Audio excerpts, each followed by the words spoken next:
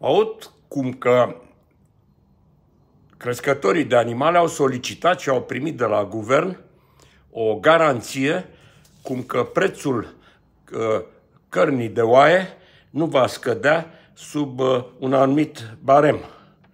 Uh, va fi de minimum 20 de lei, am înțeles. Păi dacă înainte, până acum câteva zile, acești crescători de oi reclamau faptul că prin decimarea unui număr uriaș de mare de animale nu vom mai uh, avea carne și prețul va uh, urca până în pod, de ce să solicite ei uh, un preț plafonat? Care este interesul acestora? Este o contradicție în termeni pe care fie guvernanții, fie ei ar trebui să o lămurească.